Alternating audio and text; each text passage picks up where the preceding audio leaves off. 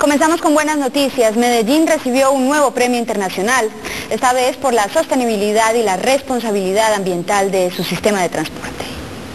Con el premio Transporte Sostenible Medellín fue reconocida, al igual que San Francisco, Estados Unidos, como una ciudad que ha logrado avances significativos en ese tema.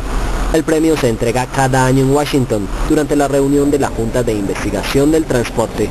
Lo que estamos buscando es que la comunidad en general, no solo los usuarios del sistema metro, se hagan conscientes que al utilizar el metro y otras alternativas de transporte limpio, estamos contribuyendo entonces con la preservación del planeta y la sostenibilidad para las futuras generaciones.